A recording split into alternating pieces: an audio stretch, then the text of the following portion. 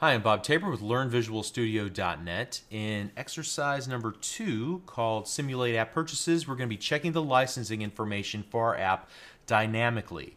So uh, we will be listening for any changes. So when the user says, Yes, I want to purchase the full version of our app, we want to listen for changes and then update the app appropriately.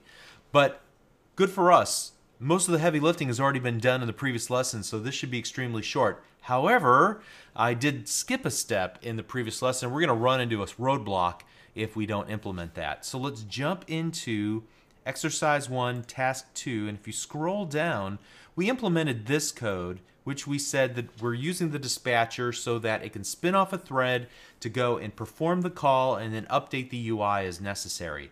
We forgot to actually capture our instance of the dispatcher for our app.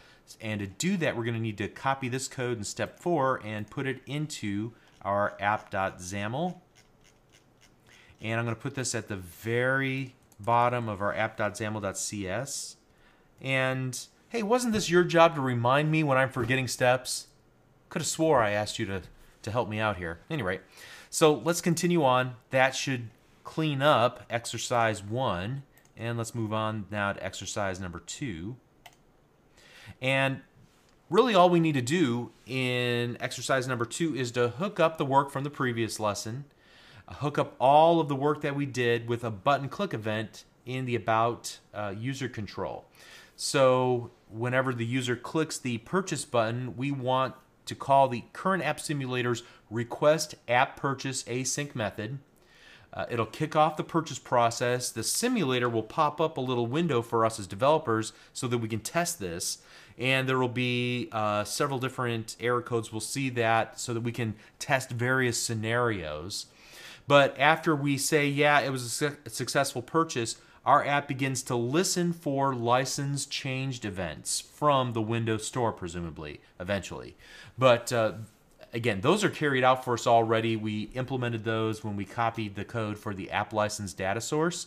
So we're, we should be good there.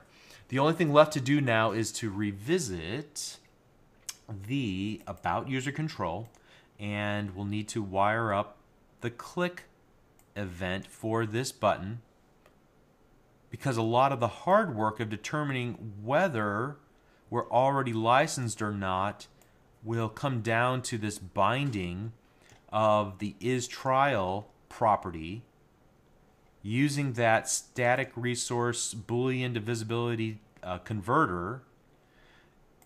And this is trial is implemented in our app license data source which implements i notify property changed. If anything changed about this class then it will fire off that change our about user control will be listening. It'll hide this button and it will update the license information in the text block above it. Okay? So uh, let's go ahead and start working through the instructions here. Here, let's go here. And we want to add this on purchase clicked event. All right, and so we'll need to implement this in the code behind. Let's go ahead and open that up. And there are two things we need to do there. We're going to need to add the using statement for the store.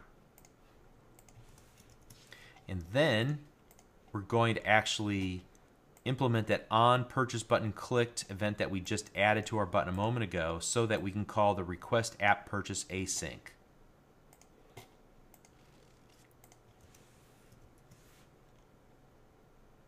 Now notice we get a little green squiggly underneath it. It just gives us a warning. Because this call is not awaited, execution of the current method continues before the call is completed.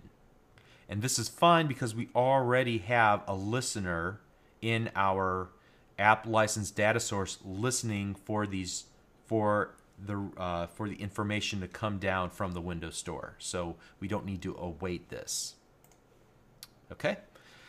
So uh, I think the next thing we're going to do is actually run through a scenario where we test this. And we'll just go to the About page, tap the Purchase button, and then uh, when we see that little dialog from the Windows Store, we're going to say go ahead and say it's okay.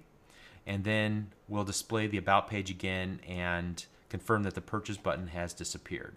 Great.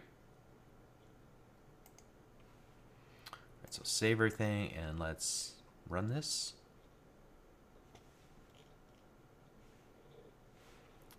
So we will go to the settings, about, and this time we're going to click the button.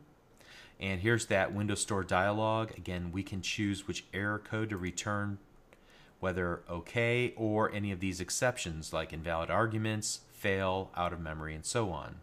Let's go ahead and choose OK and click Continue. And then we see nothing has really appreciably changed about our app. Things have been changing in the background, however. And so now the next time we come to the About page, we see that our app is no longer in trial. It's the full version and it's valid until the end of time. Okay.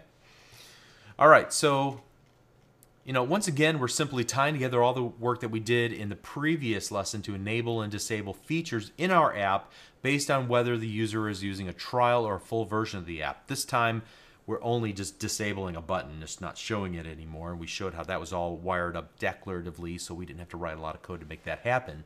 So we could use a similar type of check all over our uh, all over our app in order to cripple the software as desired and possibly even notify the user of the benefits of using the full version of our app.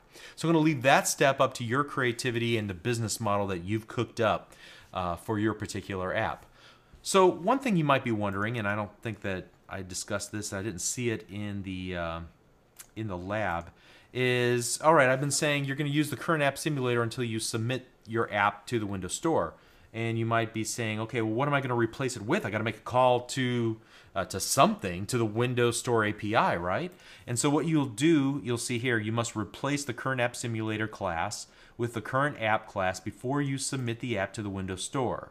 Apps that use the current app simulator simulator will fail certification.